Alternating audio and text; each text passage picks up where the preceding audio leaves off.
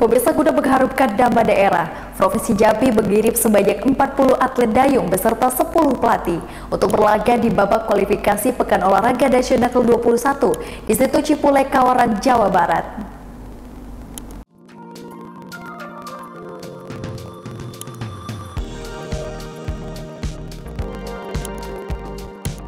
Sebanyak 40 atlet dayung dan 10 pelatih asal Provinsi Jambi secara resmi dilepas oleh Gubernur Jambi Al Haris untuk mengikuti babak kualifikasi Prapekan Olahraga Nasional di situ Cipole, Jawa Barat. Puluhan atlet dayung yang tergabung dalam Persatuan Olahraga Dayung Seluruh Indonesia atau POTSI Provinsi Jambi ini akan mengikuti babak kualifikasi yang telah digelar sejak 15 November hingga 10 Desember 2023 mendatang.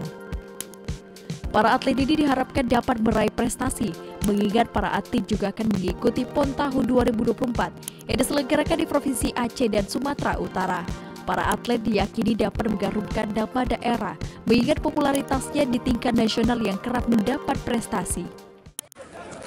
Ya, jadi uh, dayung Jambi ini kan olahraga yang favorit ya, yang selama ini adalah olahraga yang mendulang emas untuk Provinsi Jambi. Nah, pon kemarin Jambi tidak ada yang uh, gerai emas oleh uh, peserta dari Provinsi Jambi. Nah, maka kita evaluasi total ya itu porsi ini uh, ketua pengurus kita rombak total. Kenapa? Karena ini cabur yang bagi Jambi ini adalah cabur yang menjanjikan.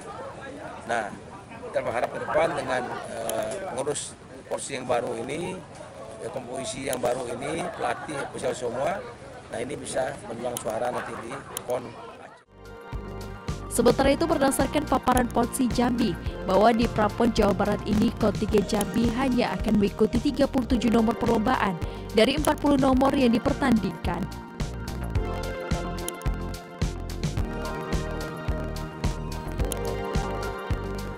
Nur PH Turjana, Jambi TV.